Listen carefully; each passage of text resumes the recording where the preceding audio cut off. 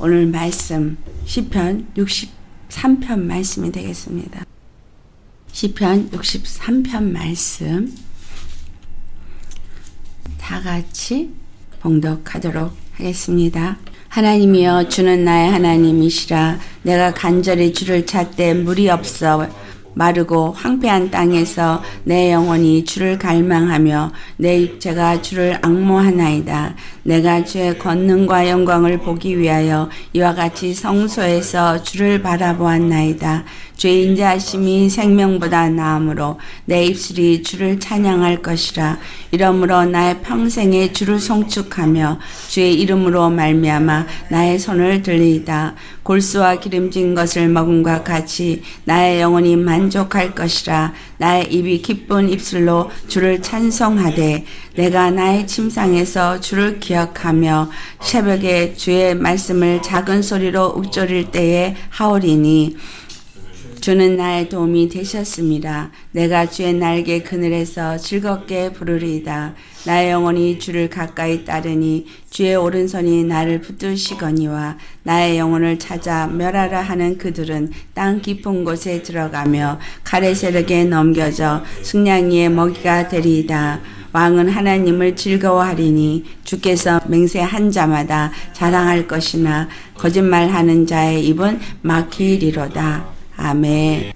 이 시편 63편 말씀 주님께서 오늘 여러분에게 주시는 말씀입니다. 이 말씀이 제목이 주님 안에서 신뢰하고 의지함으로 기쁨이 충만할지어다. 이것이 오늘 주시는 말씀이에요. 다윗이 언제 썼길래 이와 같은 찬양으로 노래를 주 앞에 시로 올려드렸느냐 하면 그가 압살롬을 피하여서 유다 광야로 나아갔을 때요.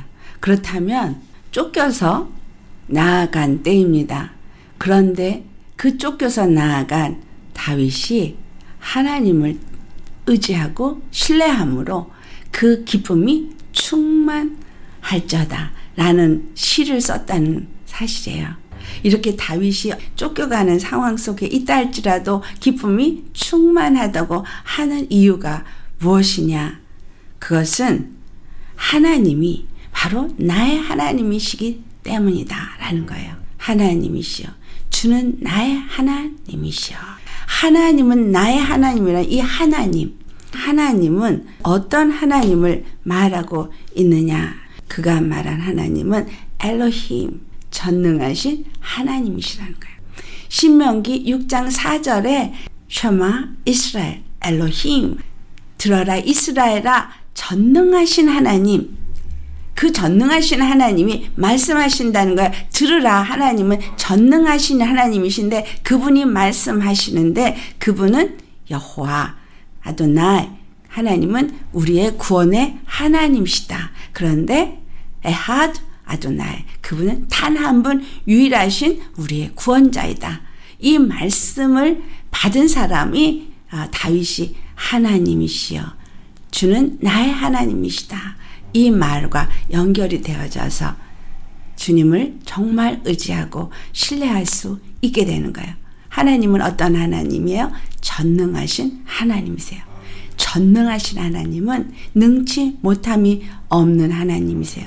그래서 그 능치 못함이 없는 하나님을 내가 의지할 때에 그 능치 못한 하나님은 약속하신 말씀대로 아주 나의 나의 구원의 하나님. 그 유일하신 나의 구원의 하나님이 나의 구원이시기 때문에 전능하신 분이기 때문에 나는 주님을 의지하니 두려워할 것도 염려할 것도 없고 그래서 나는 이와 같이 유다 광야로 쫓겨가고 있지만 나는 즐거워 주님을 찬양한다 그 말이에요. 그가 한 말이 내가 간절히 주를 찾대라고 말하는데 원어에서 보면 일찍이라는 의미를 갖고 있어요. 주님을 찾는데 아침 새벽 일찍부터 주님을 찾았다라는 거예요. 이른 아침부터 주님을 찾는다는 것 때문에 새벽 예배라는 게 있죠. 그런데 이 말은 새벽 기도를 하는 게 일찍이 주님을 찾는다 그런 의미보다는 간절히 사모하는 마음으로 이른 아침 눈을 주님 앞에 뜨면서부터도 주님을 찾고 구하는 자가 되어진다. 그런 의미예요. 왜? 나의 숨쉬는 모든 순간에 하루 해의 시작부터 주님을 찾고 구하는 자다. 그 말이에요. 주를 찾되 어떤 심령으로 찾는다는 거예요. 물이 없어 마르고 황폐한 땅에서 내 영혼이 주를 갈망하며 내 육체가 주를 악모하나이다. 그가 지금 유다 광야에 있으니 그 땅은 물이 없어 마르고 황폐한 땅이에요. 이스라엘은 그 황폐한 땅에서는 물이 없으면 살 수가 없는 곳이에요. 물이 없어서 살 수가 없고 씻을 수도 없고 그와 같은 상황에 지금 다윗이 놓여 있으니 이와 같이 물이 없고 마르고 황폐한 땅에서 그의 영혼은 육체를 구하는 것이 아니라 육체의 필요를 구하는 것이 아니라 그 영혼은 주를 갈망한다는 거예요. 주를 그 육체가 악모한다는 거예요. 자, 이 말씀을 주님께서 아모스 8장 11절에 어떻게 표현하고 있나 우리 한번 찾아보시겠어요? 아모스 8장 11절 말씀. 아모스 8장 11절 말씀 같이 봉독하시겠습니다. 주 여호와의 말씀이니라 보라 날이 이를지라 내가 기근을 땅에 보내리니 양식이 없어 주림이 아니며 물이 없어 가람이 아니요 여호와의 말씀을 듣지 못한 기갈이라 이 세상에 많은 기독교인들이 있습니다. 그러나 그들이 말씀을 찾아서 이리저리 방황하고 있는 이유는 말씀이 없는 기근이 주어졌기 때문이에요. 왜 이 기근이 그들에게 주어졌느냐? 지금 왜 다윗이 이와 같은 유다 광야에 나아가게 됐습니까? 하나님 앞에 범죄했기 때문에 그가 유다 광야에 나아가게 됐고 이 땅에 기근이 있어지고 또 이것은 똑같이 아모스 선지자의 입을 말한 것처럼 이스라엘에게 유다 땅에 이와 같은 기근을 주님이 허락하시는 하나님의 음성을 들을 수 없고 주님의 말씀을 받을 수 없는 기가를 보내 주셨다는 거죠. 그럴 때마다 하나님은 선지자를 보내서 주님의 말씀을 주셔요. 그들이 말씀을 받지 못해서 하나님의 말씀을 받지 못해서 기가를 느끼고 있을 그때에 그 말씀을 주는데 그렇게 말씀을 주어도 그 중에 듣는 자가 있고 듣지 않는 자가 있다라는 거예요. 다윗은 우리에게 지금 무엇을 말하고 있느냐? 이와 같은 정말 내 심령이 가려진 상태에서 주님의 말씀을 찾고 찾을 그러한 상황 속에서 주를 갈망하는 사람, 그 사람에게 주님이 말씀을 보내셔서 그들을 그 위경에서부터 건져 주실 때 과연 나는 그 말씀을 얼마만큼 받아 먹는 자인가라는 것이에요. 다윗이 이와 같이 끊임없이 주님을 갈망하는 이유는 그 예루살렘에서 주님을 만난 것을 갈망하는 거예요. 2절 말씀을 보니 성소에서 줄을 배운 것 같이 이 말을 앞에 먼저 와야 되는데 이 말이 뒤로 갔어요. 성소에서 주를 바라보았나이다. 이렇게 해버리면 굉장히 의미가 희석이 되어져. 다윗이 지금 간절히 주님을 찾는 그것은 무엇 때문에 찾냐면 이는 내가 성소에서 주를 배운 것 같이 주의 권능과 주의 영광을 보기 위함이니다. 이렇게 해야 정확한 해석이에요. 그가 간절히 주님을 사모하고 주님을 갈망하고 주를 찾는 이유는 성서에서 주를 배웠을 때 그가 느꼈던 기쁨과 감사와 주님의 그 은혜를 다시금 얻고자 사모한다는 거예요. 거기서 주의 권능과 주의 영광을 그가 보았다는 거예요. 예루살렘에 있을 때 하나님의 능력의 손이 어떻게 행하는지 우리 잘 아시죠? 그가 예루살렘에서 왕으로 자정하고 있을 때 하나님이 그들과 함께하니 가는 곳마다 전쟁이 인기고 하나님의 권능의 손이 그와 함께함으로 그 이름이 명성을 얻었어요. 그와 같은 하나님의 권능을 누렸고 또한 하나님의 영광을 그가 보았다는 거예요. 우리가 주님과 함께 한다면 주님이 우리에게 무엇을 보여주시겠어요? 그의 능력의 권능을. 그로 인한 영광을 우리에게 보여주십니다. 그런데 고린도전서 1장 18절의 말씀이 십자가가 하나님의 능력이라고 말하고 있어요. 하나님의 능력은 십자가라는 거예요. 그 십자가는 우리로 하여금 생명을 주는 능력인 거예요. 그 십자가는 하나님의 권능을 나타내는 능력이에요. 그래서 예수님이 십자가에서 죽으시고 부활하시면서 우리에게 그 예수의 이름을 주셨고 그 이름의 능력을 주셨어요. 그 이름을 가진 사람, 그 십자가에서 육에 대해서는 죽고 예수 그리스도를 믿는 의로 사는 사람. 그 생명으로 사는 사람은 그래서 누가복음 10장 19절의 말씀이 이루어지는 거예요. 뱀과 정갈을 밟으며 아멘. 모든 원수의 능력을 다 제어할 수 있는 그러한 자. 이 땅에서 매이면 하늘에서도 매이고 이 땅에서 풀면 하늘에서도 풀리는 능력. 그 이름이 예수의 이름으로 우리에게 주셨는데 그 예수의 이름이 어디서 주어졌느냐 하면 십자가에서 주어졌다는 거예요. 우리가 무엇을 붙잡으십니까? 주의 이름을 부르고 하나님이시여 하나님이시여 주는 나의 하나님이십니다 라고 할 때 나는 어떤 믿음으로 하나님을 찾느냐라는 것. 그 구원의 이름. 그 이름이 그분의 영광이라 그랬어요. 그 영광의 이름을 저와 여러분에게 주셨습니다.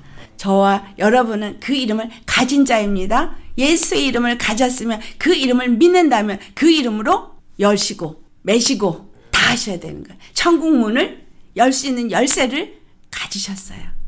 다른 거 의지하지 않고 다른 거 믿지 않냐고 그분이 나의 전능하신 하나님이요 그분이 나의 구원이시오 그 이름이 영광이기 때문에 그 영광의 이름을 위해서 일하시는 하나님의 이름으로 매일 기도하고 매일 그분을 찾고 그분을 찬송하고 그분을 의지하며 그분만을 바라보며 나아갈 때 우리는 그분을 의지하는 자에게 있는 그 기쁨이 충만함을 누리는 자가 되어진다는 거야. 왜? 그분의 권능과 그분의 영광을 보기 때문에. 그래서 다윗은 유다 광야에서 하나님의 권능과 영광을 본 그 하나님의 성전을 누렸던 그것을 바라보기 때문에 주를 만났던 그것을 알기 때문에 그분을 찾고 구한다라는 거예요. 그 영혼이 간절히 그분을 찾는다는 거예요. 예수 그리스도 안에서 구원의 기쁨을 맛본 사람이 주님을 열심히 더 사모하고 찾습니다. 제가 그런 경험이 있었어요. 하나님의 은혜 속에서 매일매일 기도할 때 벅찬 감동 속에서 하염없는 눈물의 기도로 시작하면서 끝까지 기도를 시작하면 바로 주님의 임재 속에 들어가고 기도할 때 눈물 콧물을 흘리면서 그 몇 시간의 기도를 해도 몇 분 한 것 같이 그렇게 주님의 임재 속에서 기도를 했다가 치고 들어오는 일이 있는데 그 치고 들어오는 일이 누군가하고 이게 영적인 말을 가지고 신경이를 했어요. 그 신경이를 할 때 그렇게 눈물을 흘리면서 회개를 그렇게 많이 하고 그러는 게 뭔가 문제가 있다라는 거예요. 그건 문제 아니다. 하나님이 나한테 이렇게 회개케 하시고 이런 은혜를 주신 거다라고 나는 나름대로 막 했는데 그분하고 그 신경이를 하면서 뭔가 그게 틈을 탄 거예요. 그러고 나서 눈물이 어쩜 그렇게 메말라 버렸는지 완전히 없어져 버리고 그 다음부터 기도가 여기서 나오는 기도지 임재 속으로 들어가지도 않지 이 속에서 올라오는 기도도 안 나오지. 죽을 것 같이 힘든 거예요. 왜냐하면 이미 그 임재 속에서 그 은혜 속에서 주님과 교제하면서 깊은 기도를 했던 게 있기 때문에 그 기도가 안 나왔는데. 주여 아버지 어떻게 해야 될지 몰라. 기도는 막 한 시간을 하는데 그때는 몇 시간을 해도 몇 분을 한 것 같았는데 신을 짜고 기도를 해서 한 1시간 기도한 것 같은데 기도를 해도 한 15분 지나가고 너무너무 힘든 거예요. 결국은 몸부림을 몸부림을 치고 하나님 앞에 정말 이 다윗의 마음을 제가 이해를 하는 게 몸부림을 치면서 그 주님의 임재 속에 기도했던 그것을 기다리고 갈구하고 감구하고 막 했는데 한 달을 그렇게 몸부림을 쳤어요. 나중에는 나 죽는다고 나 살려달라고 기도가 다른 건 안 하고 나 죽어요. 나 살려주세요. 난 주님 안 만나면 나는 주님 임재 속에서 기도 안 하면 난 죽습니다. 이러고 몸부림을 쳤는데요. 한 달 만에 회복이 되어서. 근데요, 주님의 감동이 있으면서 눈물이 흐르는데 그렇게 기쁠 수가 없는 거예요. 이러한 영적인 떨어짐, 이런 일은 다시 있으면 안 되겠구나. 그때부터 내 영이 뒤로 후퇴할까봐 말씀 안에서 주님 앞에 그렇게 내가 무슨 죄를 진 것도 아닌 것 같았는데 그 사람과 그와 같은 영적인 알기를 했는데 그 신경이를 했는데 그 상대가 목사예요. 그러니 목사 말이 맞나? 이 생각 제가 할 거 아니겠어요. 그건 제가 집사 때니까. 목사 말이 맞나? 내가 좀 이상한가? 이런 생각 잠깐 스치듯이 했는데 그렇게 하나님 앞에 우리가 은혜로 나아갈 때 내가 예수님을 깊이 만난 이 기쁨과 권능과 영광을 봤다면 그것을 계속 유지해야 돼요. 의심도 마시고 주 안에서 범죄를 했다면 회개를 해서 그 은혜 속에서 우리는 계속 나아가야 돼요. 그와 같이 주님의 임재 속에서 기도를 하고 주님과 교제를 하면 어떤 자가 되어져 요한복음 7장 38절에서 39절에 있는 말씀같이 내 배에서 생수의 강이 흘러나게 되어져 있어요. 기쁨이 넘쳐나게 되어져 있어요. 오늘 다윗이 주님을 의지하고 신뢰하는 가운데 있는 그 기쁨의 충만함은 바로 우리 안에 임한 성령으로 말미암는다라는 거예요. 생수의 강이 흘러넘치는 건 내 안에 십자가가 세워져야 돼요. 예수님만 의지하는 믿음이 주어져야 돼요. 그래서 성령으로 인도함을 받는 심령이 되어져야 성령의 인도하심을 따라서 내 배에서 생수의 강이 흘러내리는 거예요. 성경에 이름 같이 그 배에서 생수의 강이 흘러나오리라. 그렇게 하셨으니 이는 믿는 자들이 받을 성령을 가리켜서 말씀하신 것이라. 우리가 성령을 받는다면 우리 배에서 생수의 강이 흘러나야 해요. 왜? 성령은 우리 안에서 진리로 인도하기 때문에 성령 우리에게 모든 것을 가르쳐 주기 때문에 성령 안에서 주님이 가르쳐 주시고 주님이 인도하시는 대로 내가 나아가고자 한다면 모든 것을 주님께 맡긴 자가 되겠죠. 주님을 의지하는 자가 되겠죠. 그러면 그냥 기도하고 맡기고 의지하고 기다리시면 되겠습니다. 그런데 만약에 우리가 그렇지 않다면 어떤 자가 되어주냐?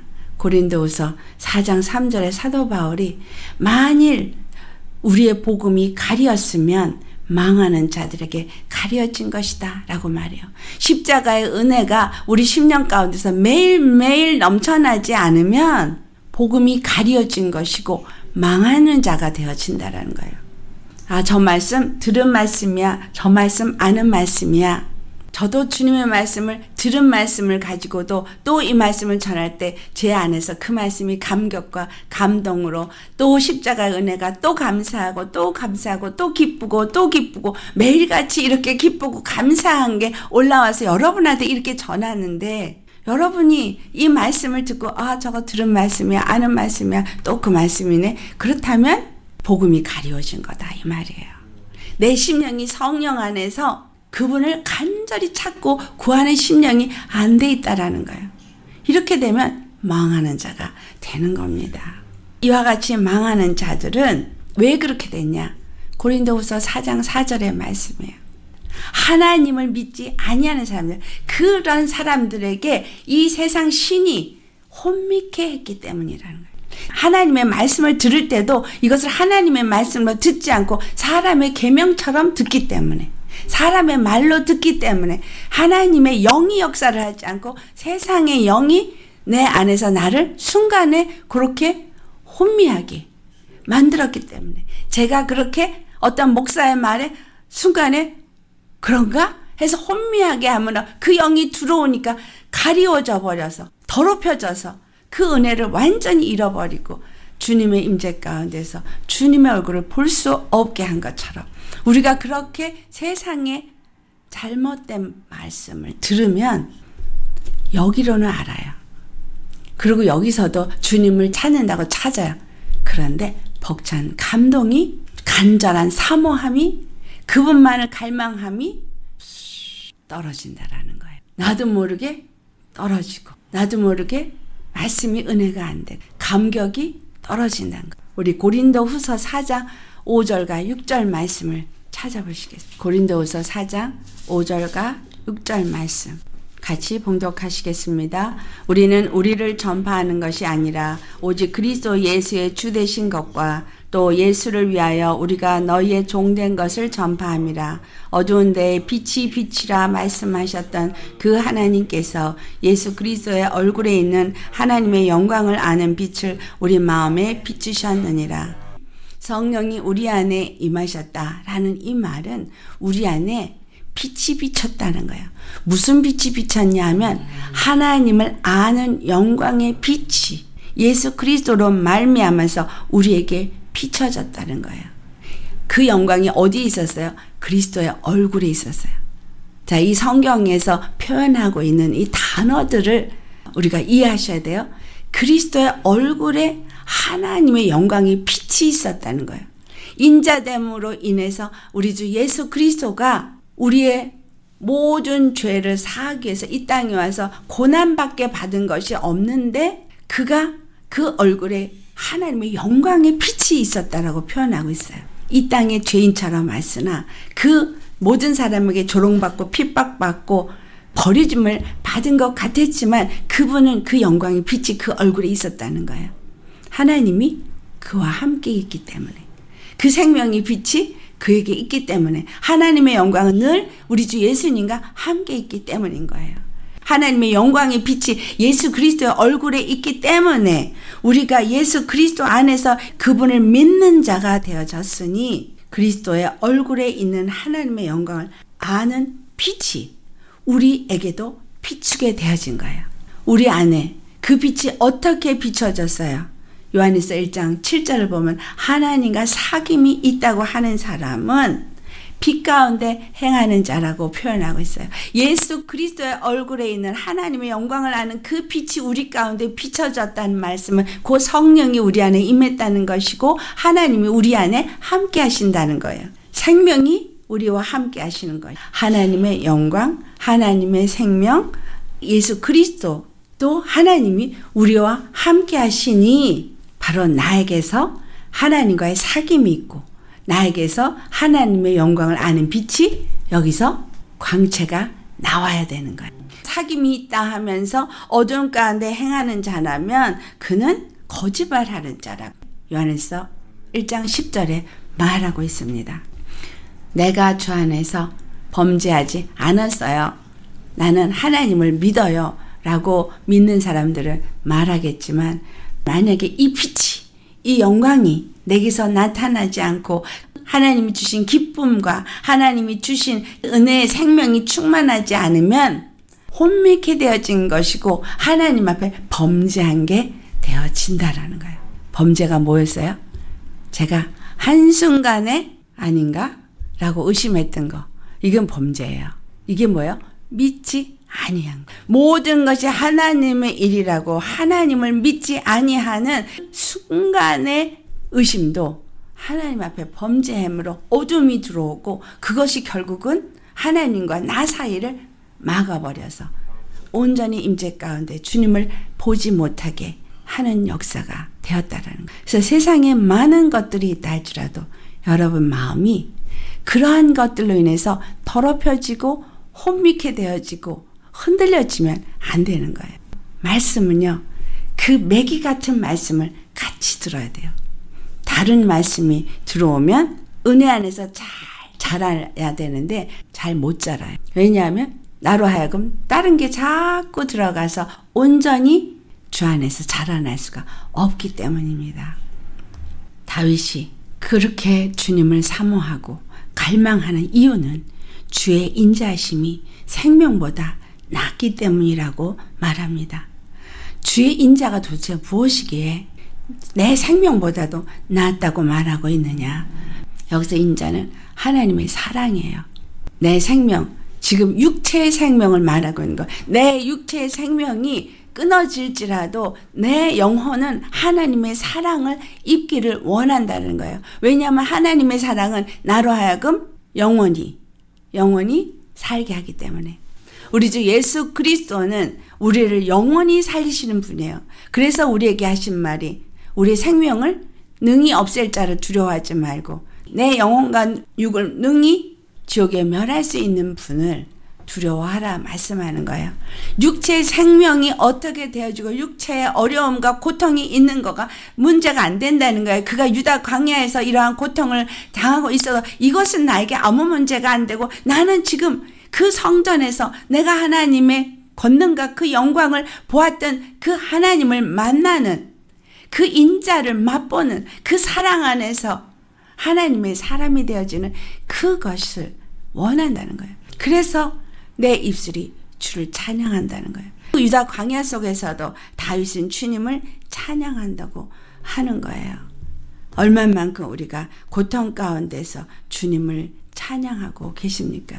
주님을 찬양하는 사람이라면 사도 베드로가 베드로 전서 1장 13절에 말씀한 것처럼 너희 마음의 허리를 동이고 근신하라 라는 말씀처럼 우리의 마음의 허리를 동일 거예요. 다윗이 지금 이와 같이 주의 인자가 내 생명보다 낫고 내가 주를 찬양한다고 하는 것이 허리를 동이는 근신이에요. 주님 앞에 내가 낮아지고 내가 낮아져서 오직 주님만을 바라고 주님만을 기다리는 거. 그래서 허리를 동이고 예수 그리스도가 나타나실 때에 너에게 가져다 주실 은혜를 온전히 바랄지어다 라고 베드로가 말합니다. 내가 이 다윗의 10년과 같이 그 성전에서 하나님의 권능과 영광을 보는 심령이 되고자 매일 내가 허리를 동이고 주님만을 바라보고 의지하면서 우리 주 예수님이 오실 때를 기다리겠는가? 그렇다면 그런 사람들은 어떤 사람이 되겠느냐? 베드로전서 1장 14절에서 16절 말씀을 찾아서 같이 봉독하시겠습니다. 베드로전서 1장 14절에서 16절 말씀 하셨으면 같이 봉독하시겠습니다. 너희가 순종하는 자식처럼 전에 알지 못할 때 따르던 너희 사역을 본받지 말고 오직 너희를 부르신 거룩한 이처럼 너희도 모든 행실에 거룩한 자가 되라. 기록되었을 때 내가 거룩하니 너희도 거룩할지어다 하셨느니라. 아멘. 우리가 주님 안에서 이와 같이 주님의 인자를 바라는 자라면 예수 그리스도의 십자가에 죽으시고 부활하심은 우리를 거룩하게 하기 위해서 우리에게 행하신 하나님의 사랑입니다. 그렇다면 그 십자가에 내가 죽고 그 십자가의 은혜로 의 안에서 거룩한 자가 되어야 되는 거예요.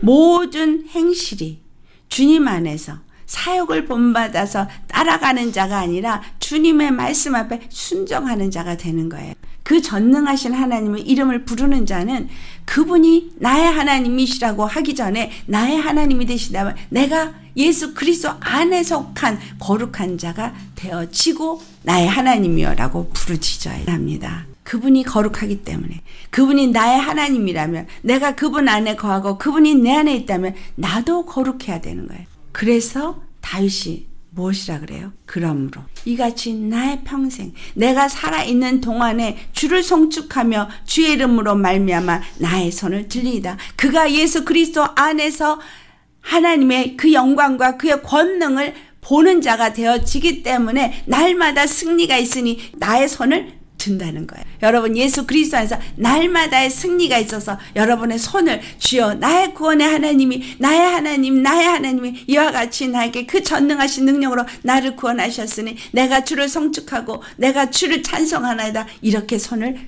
날마다 매일 평생을 들이시겠습니까? 주님은 이 다윗을 통해서 내 평생에 주를 찬양하며 내 평생에 나의 손을 주께 들리이다. 여러분 영광과 존귀와 찬양을 아버지께 여러분 평생에 이렇게 드리실 수 있기를 축원합니다. 온전히 주님만을 의지하는 사람, 그렇게 나아가는 사람은 그 평생에 날마다 주님을 이렇게 찬양하니 이것이 바로 로마서 12장 1절에 하나님이 찾으시는 영적 예배를 드리는 자인 겁니다. 하나님 앞에 예배를 어디서 드려요? 성령의 인도하심을 따라 신령과 진정으로 하나님의 영의 이끌림을 받아 예배하는 자. 그래서 영적 예배를 드리는 자. 늘 주님과 교제하며 예배 드리는 자. 그래서 주의 이름으로 날마다 승리하며 주님이 함께함으로 그 이름의 구원의 영광을 나타내는 자가 손을 들 수 있는 자요. 그리고 경배할 수 있는 자가 되어지는 겁니다. 우리는 주의 피값으로 산 주의 것입니다. 고린도전서 6장 20절 말씀이에요. 피값으로 우리를 샀기 때문에 나는 누구의 것이에요? 하나님의 것이에요. 그래서 너희 몸으로 하나님께 영광을 돌리라. 고린도전서 6장 20절에 있는 말씀이에요. 예수님의 피를 값으로 주고 나를 죄에서 건지시고 나를 사망의 권세자에게서부터 찾아오셔서 하나님의 영광에 나라에 들어가게 하시고 하나님의 거룩한 백성이 되게 하셨으니 나는 거룩한 그의 몸이니 이 몸이 하나님의 거룩한 몸으로서 하나님께 영광을 돌리셔야 하는 겁니다. 그와 같이 하나님의 영광으로 내가 사는 자라면 오늘 보면 5절의 말씀처럼 골수와 기름진 것을 먹음과 같이 내 영혼이 만족할 것이라는 거예요. 이 땅의 육체 골수와 기름진 것으로 배부르는 것 같이 내 영의 배부름으로 인해서 만족함이 넘칠 거라는 거예요. 만족함이 넘치는 사람은 입술이 기쁜 입술로 주를 찬송하게 되어져 있습니다. 하나님을 의뢰하고 그분을 신뢰하는 사람은 이와 같이 그 배에서 생수가 흘러 넘치니 기쁨의 입술이 되어져서 주님을 찬송하고 주님께 경배하는 자가 되어지는 겁니다. 그와 같이 하루를 찬송하고 하루를 기뻐하고 주님께 경배했던 사람은 6절에 나의 침상에서 주를 기억하여 그 침상에 이제 누웠을 때 뭘 기억해요? 야, 주님이 오늘 이렇게 하루를 나에게 멋지게 구원의 역사를 이루셨구나. 그러면서 침상에 주님에게 눕기도 하지만 또 새벽에 주님을 묵상할 때 작은 소리로 읊조릴 때 이 말이 주님을 묵상할 때 새벽에 주님을 찾고 구하면서 주님의 행하신 일을 기억하고 주님의 권능과 그 영광을 기억하면서 주님 앞에 나는 항상 기쁜 입술이 되어지겠다 이 말이에요. 그분 앞에 왜 이렇게 묵상을 하고 기뻐하겠느냐? 7절의 말씀. 주님께서는 나의 도움이 되셨음이니다. 나의 도움이 되셨으므로 내가 주의 날개 그늘 안에서 즐거워하며 기뻐하리다. 예수님만 의지하십니까? 예수님이 십자가 그 복음 안에서 주님만 의지하십니까? 그래서 그의 날개 아래 편히 쉬고 계십니까? 주의 날개 아래 내가 평안히 쉬리다. 찬성은 부르시면서 주의 날개 아래 쉬지를 않아요. 주의 날개 아래 이 다윗은 자기가 쉬고 있다는 거예요. 그래서 그 유다 광야에 있을지라도 그는 기쁜 입술로 찬성을 드립니다. 8절에 나의 영혼이 주를 가까이 따르니 주의 오른손이 나를 붙드시거니와 주님을 가까이 하니 주님이 그 영혼을 붙들어 주시니 유다 광야 속에서도 그는 기뻐한다는 거예요. 그래서 나의 영혼을 찾아 멸하려 하는 그들은 땅에 더 깊은 곳으로 멸망을 당하게 하고 칼의 세력에 넘어져 쓰러지고 여우들의 먹이가 되어지도록 주님이 그렇게 다 행하실 거라는 거예요. 유다 광야에 있으면서 그는 지금 그 마음에 이미 주님을 만났어요. 그리고 주님을 이미 기쁜 입술이 돼서 찬양해요. 왜? 주님을 의지하기 때문에. 주님을 신뢰하기 때문에. 그분은 누구기 때문에? 나의 하나님이시기 때문에 나를 쫓고 있는 그러한 나의 원수들을 다 주님이 멸하실 것을 말하고 있어요. 11절 오직 왕은 하나님을 즐거워하리라고 말합니다. 오직 그는 하나님을 즐거하고 주께로 맹세하신 자마다 자랑할 것이니 자기를 자랑하고 자기의 능력을 자랑하고 거짓 것을 믿고 추구하고 거짓말을 하며 그 길을 따라가는 자들은 망하게 되어친다라는 거예요. 고린도전서 1장 27절에서 29절의 말씀을 우리 한번 찾아보시겠어요? 고린도전서 1장 27절에서 29절 말씀 마지막으로 우리 찾아 봉독하시도록 하겠습니다.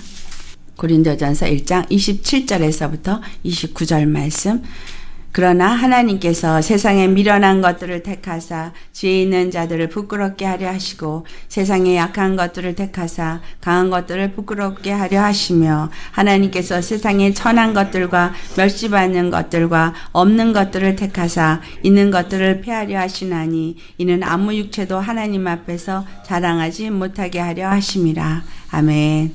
아무 육체도 하나님 앞에서 자랑하지 못하게 하시도록 정말 천하고 약하고 연약하고 가진 것 없는 자들을 택하셔요. 이스라엘을 택하신 이유도 그들이 가장 작은 민족이기 때문에 택하심을 받은 거예요. 누구를 나타내기 위해서? 하나님을 나타내기 위해서. 그 하나님은 전능하신 하나님. 그 하나님은 단 한 분 유일하신 아도나이 그들의 구원의 하나님이 되심을 나타내기 위해서 이스라엘 택했어요. 또한 다윗을 택하신 것은 유다 지파 중에서도 가장 작은 자라 그랬어요. 가장 작은 자 중에 또 막내요. 막내. 사무엘 앞에 다 아들들이 나왔을 때 이 막내는 아닐 거라고 생각했을 그런 자였어요. 그리고 사울이 끊임없이 그를 추적하고 죽이려고 하는 왕권을 가진 자였지만 하나님은 늘 다윗과 함께 하셨어요. 결국 다윗이 이렇게 압살롬을 피해서 유다 광야로 나아갔지만 그러나 그는 그 가운데서도 하나님을 의지하고 그의 이름을 부르고 찾고 그럴 때 만난 하나님 그에게 기쁨의 입술이 되게 하고 찬송을 하게 하고 그 이름만 성축하고 바라는 그 다윗이 되게 한 하나님은 역사를 볼 때 그 이후에 그의 손을 다시 들어주셔서 왕권을 그에게 확립시키셨다는 것. 그리고 그에게 약속하신 대로 그의 자손이 그 왕위를 계속 계승해 내려갔다라는 것. 이것을 알 수 있습니다. 이것은 바로 예수 그리스도가 유다 지파 중에 오셨고 예수 그리스도가 비천하게 이 땅에 오셔서 십자가에 죽는 자 같았지만 부활하심으로 그 유다의 왕권 왕 중의 왕 만왕의 왕이 되어 주시고 이스라엘의 통치자로서 그 왕권이 대대 이르고 영원히 이르게 되어지는 것을 나타낸 것입니다. 우리는 오직 예수님만 의지하고 그 십자가만을 붙잡고 전능하신 하나님이 예수 그리스도 안에서 그 생명으로 나에게 임하시고 그 예수의 이름을 나에게 주시고 그 영광과 그 권능을 나에게서 나타내기를 원하시니 오직 우리에게 바라는 것은 그분을 믿고 의지하는 믿음, 그 믿음으로 주님과 함께 나아가며 승리해서 내 평생에 주를 찬양, 내 손을 주님께만 드는 그 승리자가 되어질 것을 오늘 말씀으로 저와 여러분에게 주셨습니다. 예수님 안에서 이렇게 그분만 의지하고 신뢰하고 믿음으로 주님을 찬양하고 우리의 손을 주님께 올려드리는 그러한 자가 되시기를 예수님으로 축원합니다. 우리 다 같이 오늘 말씀 생각하시면서 여러분 자신을 예수님 앞에 내어놓고 또 한 해를 시작하면서 오직 이 다윗과 같은 믿음의 사람으로 하나님만을 의지하고 우리 심령에 성령께서 역사하시고 인도하시는 걸 따라서 생수의 강이 날마다 흘러넘치는 기쁨의 입술이 되어지고 산 제사를 매일 드리는 영적 예배를 드리는 그러한 사람 평생에 주를 찬양하고 내 손을 주께 높이 들 수 있는 그런 사람이 되어지도록 우리 주 앞에 다 같이 할렐루야로 기도하시겠습니다.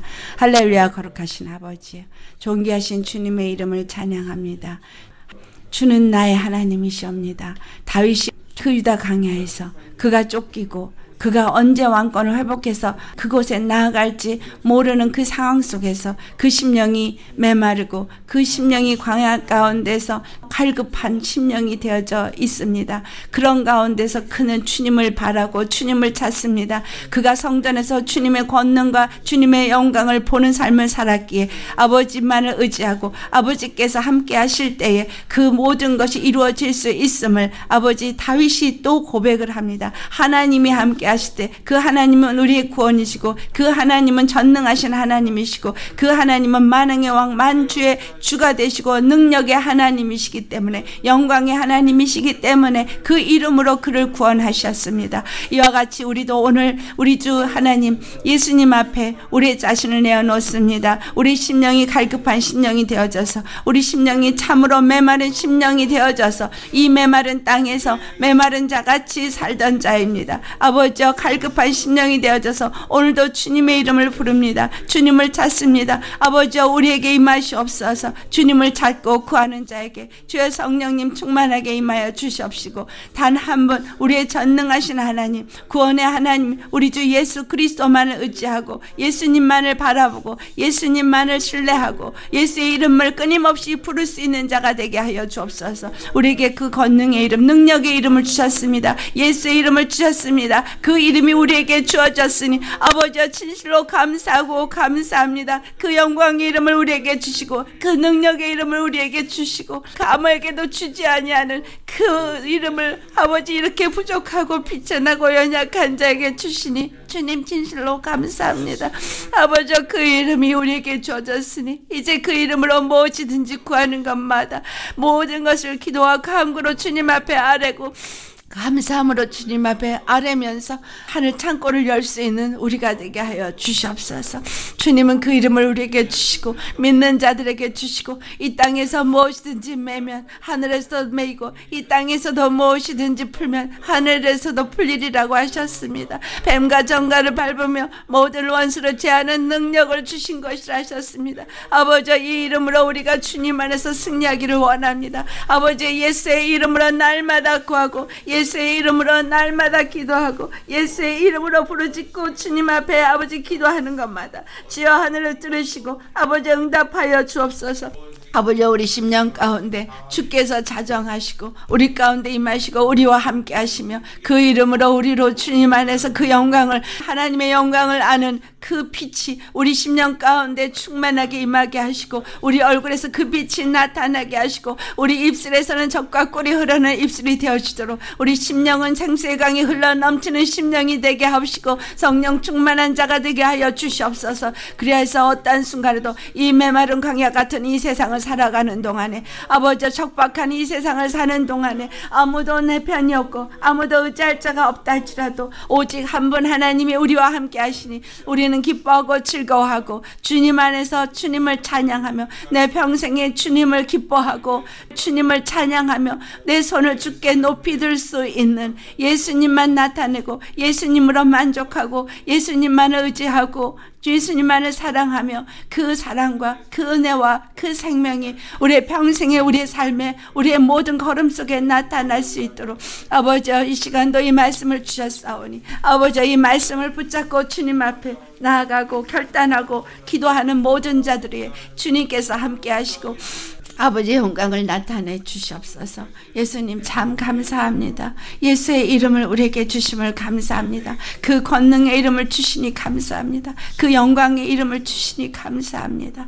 예수님 이제 이 이름으로 주 앞에 나아가고 나아가서 주께 구하고 찾고 주님을 의지하는 모든 자들 위 하나님의 되심을 나타내 주시고 능력의 하나님, 생명의 하나님, 구원의 하나님이 되심을 나타내 주셔서 곳곳에서 주님을 찬양하고 경배하며 주의 이름만이 높여져서 온 천지가 우리 주 예수님을 찬양하며 하나님의 이름만을 높여 송축하게 하여 주옵소서. 우리 주 예수님의 이름 받들어 감사 기도드려옵나이다.